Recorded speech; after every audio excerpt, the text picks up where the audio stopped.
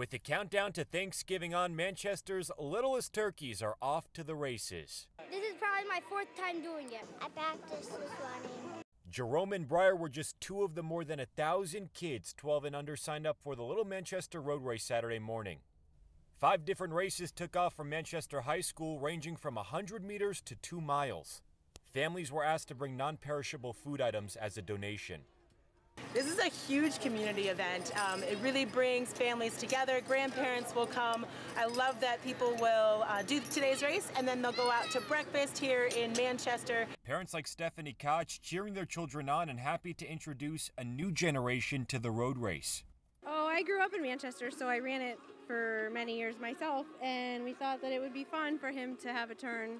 And these families, along with the race organizers, also thankful for a return to in person events getting everyone together and just having fun.